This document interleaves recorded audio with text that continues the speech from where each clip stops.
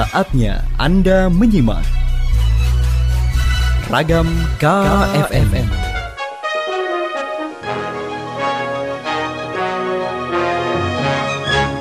Menurunnya kasus COVID, jasa percetakan mulai ramai order.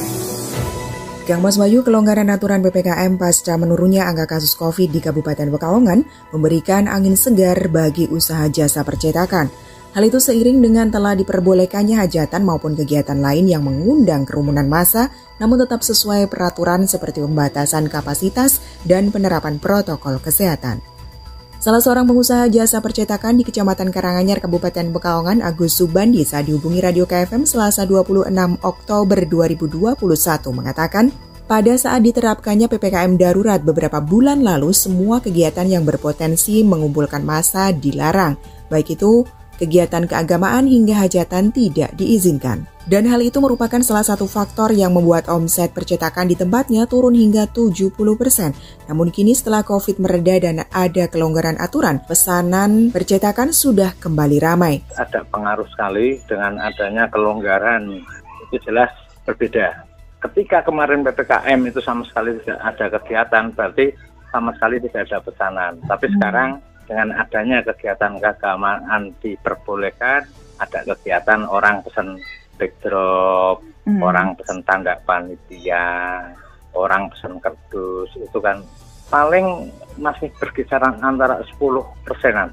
Dikatakan pula oleh Agus Subandi, meskipun bisnis usaha percetakan mengalami kemerosotan yang cukup signifikan karena adanya pandemi ini, namun justru sekarang harga bahan baku naik hingga di atas 10 persen. Sehingga meskipun sudah dapat angin segar, pihaknya tetap harus menyiasati dan putar otak agar biaya produksi tidak sampai membengkak. Oh, kalau bahan baku, saya katakan naik di atas 10 persen. Selama ini, mulai PPKM ini bahan-bahan baku mulai naik semua.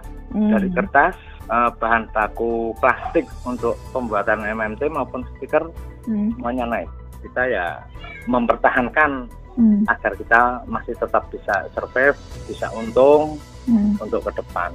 Sama halnya seperti yang lainnya, Agus Subandi berharap pandemi COVID-19 dapat segera berlalu agar roda perekonomian kembali pulih dan upaya memangkas penyebaran COVID, selama ini pihaknya juga turut berpartisipasi dengan cara menyediakan masker secara gratis bagi pelanggan yang datang tanpa masker, menyediakan tempat cuci tangan, serta telah melakukan vaksinasi terhadap seluruh karyawannya.